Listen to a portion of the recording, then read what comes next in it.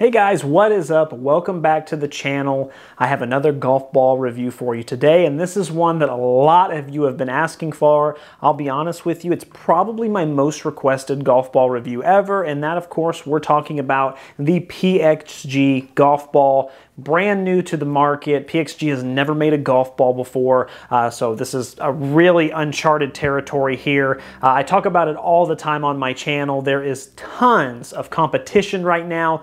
Direct-to-consumer markets over the last four or five years have really flooded the market. There's all kinds of cheap value brands from Walmart. I mean, there's just so many golf balls. I mean, to be honest with you, there's probably over a hundred different golf balls on the market, so there's a ton of competition. So to just kind of come out of nowhere and randomly make a golf ball. Um, I'm not sure exactly what my expectations are, but let's dive into this and let's see if it is worth all the hype we've heard about. Okay, so let's just start out with the basics here. PXG is a brand that has a lot of loyalists to it. You can't really find them in stores. I mean, you can find their used iron sets and drivers like in Golf Galaxy and stuff, but only used. They don't sell any of them new. Uh, if you want to buy PXG golf clubs, you have to go to PXG's website. You have to exclusively go on there and schedule a fitting through them. And that's why when you meet someone who is a PXG enthusiast, they pretty much have PXG through the whole bag. I mean, from top to bottom. Uh, with that being said, the PXG loyalists have been asking for a golf ball for years because frankly, PXG does make some pretty high quality stuff. Uh, they're always well reviewed, and to be honest with you, they're usually at a pretty good price point too, and they offer all kinds of military discounts. There's just a lot going on there. They have a really good marketing strategy, and people who love them love them.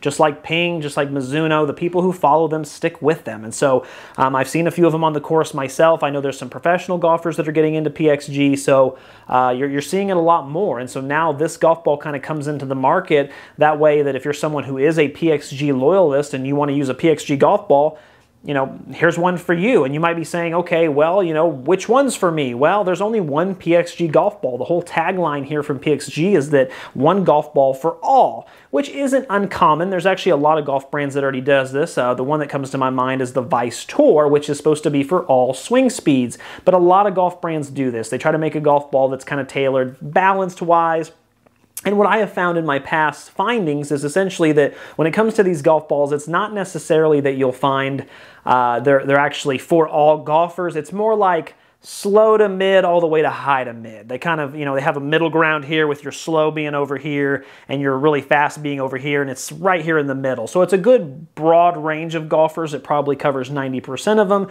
um, but there's always some variables there. But that's what PXG is going for. They're going for one golf ball um, they don't have any plans to make a cheaper golf ball. They want everything to be urethane coated, uh, which is what this one is. It feels premium, and it comes in at a price point at $39.99 a dozen, but you do have to pay for some shipping unless you order in bulk, so it might end up being around $45, $50 a dozen, um, so which is pretty standard when it comes to um, the golf ball market. That's about what you'd pay for a tour ball, so I do expect it to perform pretty well. Getting into expectations though, to be honest with you, let's be let's be real. This is a first time golf ball from a company that has some pretty high expectations, you know, as far as their clubs, their drivers. Um, so really what I'm expecting for the golf ball, I don't expect it to blow me away. I don't want it to have numbers that are just unreal and make me, you know, con convert it immediately and then I'm going to use this golf ball from now on.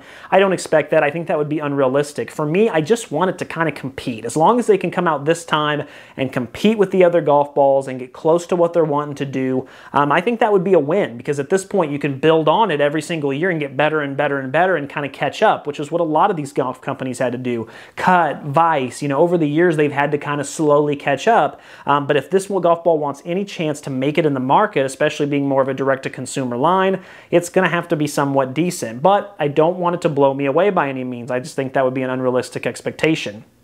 So um, with that intro, that intro is a little long. We don't normally have an intro that long for a golf ball, but I mean, to be honest with you, this is kind of a first time for the channel and a first time for the golf ball market. So it's, it's really, it's really a, a, unique experience here. But let's go ahead and start out the review like I always do. Let's get into the design of the golf ball. And as you can see on the front there, there's that PXG logo. Kind of gives a Top Gun vibe. I really like it. And the people who are PXG loyalists really like it a lot. Um, so you're immediately going to see that. The font, I mean, everything just screams more, you know, extreme about it. Going on the side there, you can see the alignment tool, which is very simplistic, but honestly very modern. If you're new to my channel, I'm a very big stickler when it comes to alignment tools. A lot of the time, it's the only thing that separates golf balls from each other. And this is really nice. I mean, they have the nice, you know, uh, vertical line there going for your alignment putter, and then also the nice thick line that says Parsons Extreme Golf for your actual ball alignment. Both are really well, both work really well, and honestly, it just keeps it simple. It keeps, you know, it, it uses the KISS method. Keep it simple, stupid. And that's what this golf looks like. You have a basic black logo, but it's the logo, the one that all PXG fans are gonna know. And then you have a really nice, simple alignment tool. So that's really all you need to do. The golf ball feels premium, it looks premium, it has a nice urethane coating. It feels just like any other golf ball you would get out when you have that nice feeling, you know, coating on the outside, like you're thinking, ooh, this feels premium. This one fits right in there, so that's good.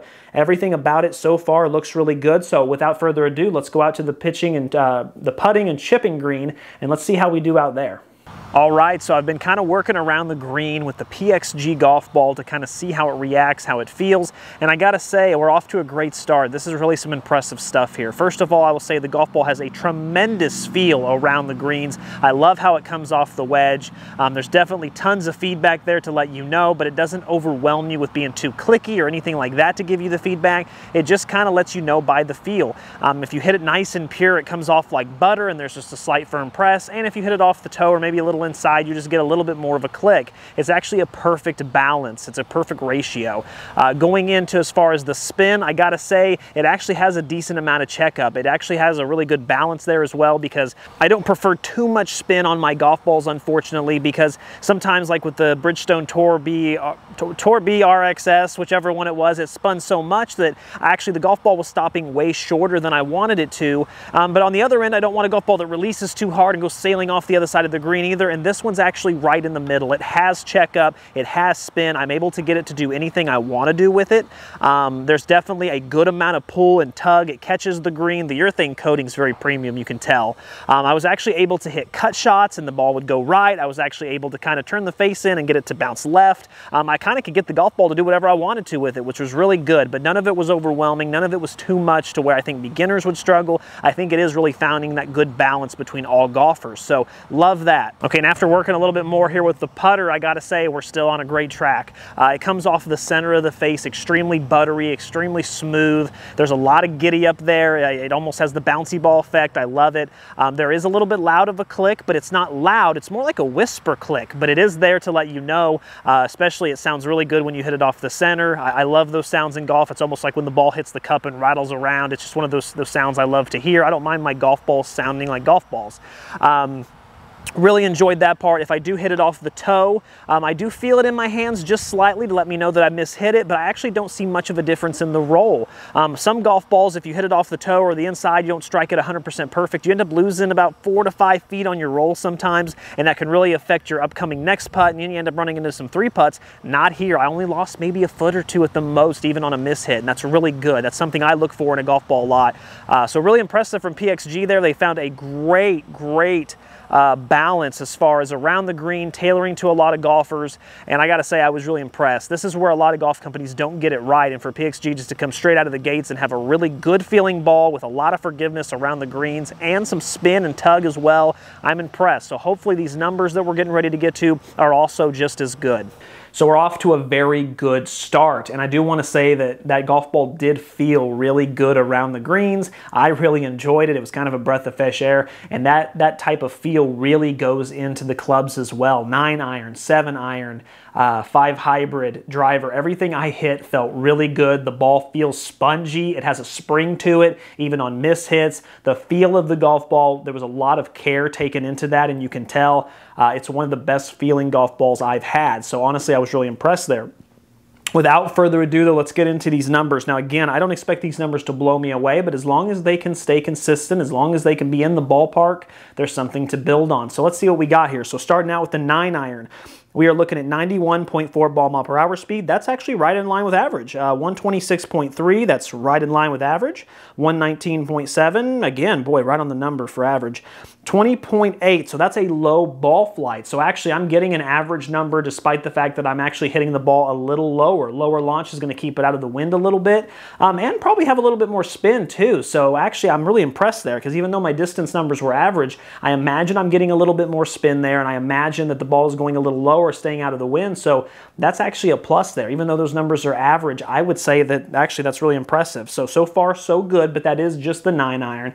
So let's dive in a little bit more here. Getting into the 7 iron, we are looking at 6,677 RPMs, which is slightly above my average. That's really good. That means you're going to be able to stick a green with the 7 iron pretty well. Uh, 107.7, that is just slightly, slightly above average, but not by much. 160.6, that's right on the line with average. 149.5 uh, 19.6. So all average again, but 19.6 on the launch. This one actually launched a little higher. Now I will say that with my 7 iron, I tend to hit a little bit more of a fade, so I probably got a little bit higher of a launch, but honestly, everything's really consistent there.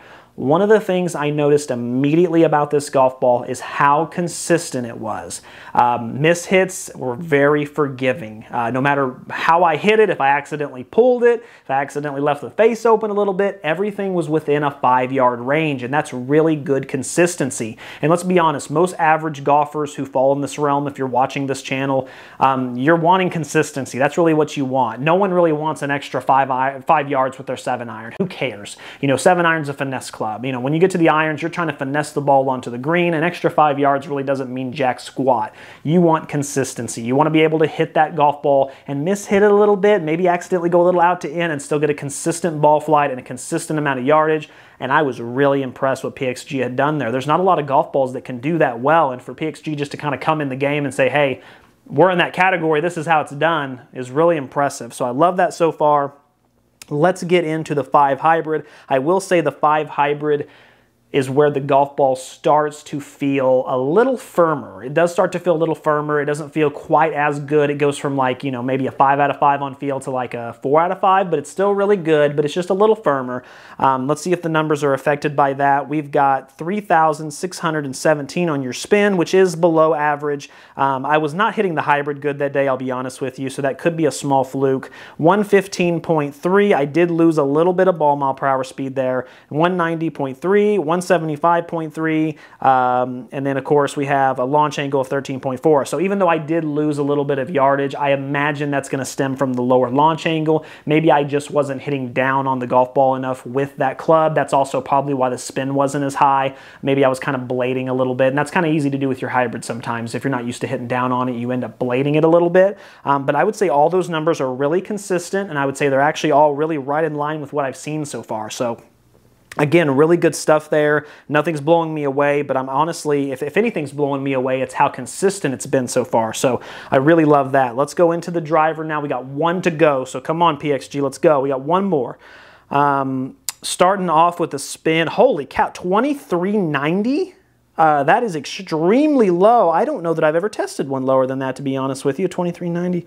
Uh, no, no, it ain't even close. No, that is by far the lowest spin I have ever had on the driver. That's pretty crazy. I mean, I'm not a guy who um, has low spin with the driver. I usually have it up in the 3000 range. You know, 20, uh, 2794 is actually my average. So to get it that low, that's really impressive to be honest with you. Actually, it might have actually cost me a few yards because when you swing only 93 mile an hour, you want to get some height on the ball and sometimes a little bit of backspin's good. But I like the fact that if I have some firm fairways, I can hit it low and watch it go. So um, I don't really have a problem with that. It just depends on the course I'm using or where I'm playing it. Uh, 239.7 on the distance, which is just, I mean, basically average. Uh, 137 on my uh, ball mile per hour speed, which there you go. That's way above average. So my ball speed with this golf ball was way above average, but the launch angle I'm guessing is low, which you can see there it is, 11.5 compared to 14.7 is my average. So this golf ball would have normally been going a lot further. I don't know why it was launching low. I know it is a low launching golf ball,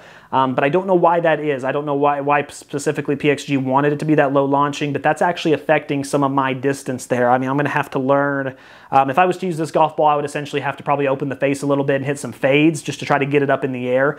But the ball mile per hour speed was excellent. Um, just the overall distance numbers were average. And anytime you have amazing ball speed and average distance numbers, um, and especially with low, low, low spin like that, it's got to be the launch angle. So I would probably be gaining about 20 yards if I could just get that launch angle up three degrees, which is crazy, but that, that's how golf works. So um, again, little inconsistent there. It could have been my swing a little bit, um, but overall, I would say that's really good just because the ball speed. I mean, the ball speed being that high is very, very good. Uh, one of the higher ones I've tested for sure. So Okay, so before I go on too much of a rant there, um, I do want to touch on durability real quick. Everything's been impressive so far. And the same here. I've actually read some online reviews talking about the cover being an issue, but I'm just going to go ahead and tell you that I had zero issues. I'm hitting the golf ball into a net from point blank range, and you can see the pictures there. It looks phenomenal. It feels phenomenal. One of the things I always like to do is feel the golf ball because just because a golf ball has some, you know, a visible scratches and visible, you know, scuffs, it doesn't mean it actually scratched the surface. So you really got to feel, and I don't feel anything. That's a really good four and a half out of five on durability, maybe even a five out of five depending on the golf ball you're using. Um, really impressive there, which is just as good as I get out of any tour golf ball, to be honest with you. Most of the time, my five out of fives uh, are the Durlin Surlyn covers uh, or DuPont Surlyn, excuse me, the DuPont Surlyn or maybe your ionomer covers because they're a little bit more durable, but they just don't spin as much. Um, really impressive to see a urethane golf ball have that type of durability. Um, so all in all, that just is another thing that adds to this golf ball. All in all, I'm really impressed with those numbers. You know, I, I didn't go into this with a lot of expectations. I really just wanted the golf ball to compete. And honestly, it did a little bit more than that. It stayed extremely consistent. Um, it, it played it safe essentially. You know, it didn't try to do anything extraordinary. It just tried to do everything good, and it did. In fact, actually, in some areas, I would say it borders good, great. Um, which honestly, when you're a first-time maker in the golf ball industry, that's really what you want. And I would say that for an average swinger, um, I, I was really impressed to be honest with you. The golf ball felt great. It checked up. It felt great off the putter. I mean, the short game uh, distance wise, everything was just so consistent. It was forgiving. It was kind of everything you really want in a golf ball without trying to do any one particular thing extraordinary. Um, sometimes that can get you in trouble. You know, sometimes I'll test a golf ball and, you know, the nine iron will be average and the seven iron will be average and then the five hybrid will be like the best distance wise I've ever tested which is cool until you get on the course and then all of a sudden your five hybrid you're smashing it 10 15 yards past the green and you're like well wait a minute what's going on? Well it's just the way it's compressing. This was consistent throughout. You could use any club in your bag and honestly get a really consistent performance. Final thoughts you know guys i touched on it a minute ago. I went on a little mini rant there about how impressed i was. I am. I just didn't have a lot of high expectations. I didn't know what to expect. I've never hit a, a pxg iron. I've never hit a pxg driver. I, I didn't know what really to expect from anything. I just had no expectations. I had heard from, from you guys, I had heard some of you say that it was disappointing. I'd heard some of you say it was amazing. Rick Shields says it was disappointing. You know, uh, uh, TXG said it was actually pretty promising. There's just so much of this back and forth. I just didn't know what to expect.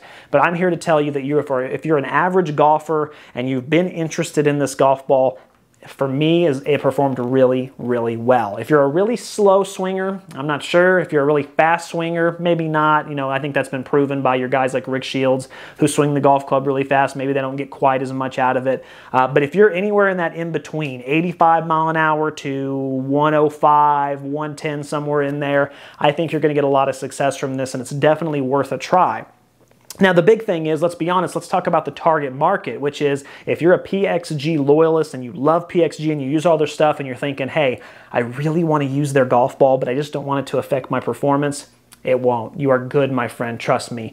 Uh, the golf ball really did a lot of things right, and I, I, it might take some getting used to. If you're used to playing a particular golf ball, you might have to make some small adjustments here or there. But uh, in terms of overall performance, you're good. You're going to be able to switch this no problem, within, and within a couple rounds, really get back on your game, and it's not going to affect it. Um, overall, guys, seriously, really impressive. Can't wait for the next golf ball review. Um, I've got a couple driver reviews coming out. I've got the Tour Response Stripe. I've got the new brand new 23 Pro V1 coming out. I appreciate you all. Until next time, keep watching to keep learning and keep saving. Thank you.